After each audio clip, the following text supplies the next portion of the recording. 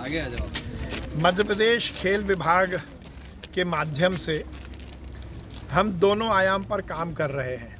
एक तो जो हमारे खिलाड़ी हैं, वो उत्कृष्ट खिलाड़ी बने, वो इंटरनेशनल और नेशनल प्रतियोगिता में मध्य प्रदेश का और देश का नाम रोशन करें, पर उसके साथ साथ खिलाड़ी भी बने।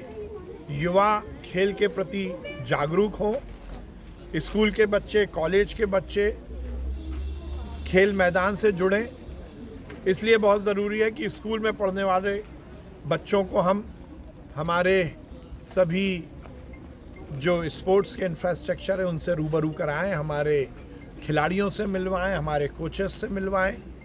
इसलिए हमने ये नए प्रोग्राम की शुरुआत की है, जिसमें हम युवाओं को खेल के मैदान के प्रति आकर्षित करने के लिए और उनको जोड़ने के लिए अलग अलग स्कूल अलग अलग कॉलेजेस के टूर प्रोग्राम हमारे स्टेडियम्स में, हमारे जो स्पोर्ट्स के इंफ्रास्ट्रक्चर हैं, उसमें आयोजित कर रहे हैं, जिसके माध्यम से हम युवाओं में खेल के प्रति और आकर्षण पैदा हो, इसका प्रयास कर रहे हैं।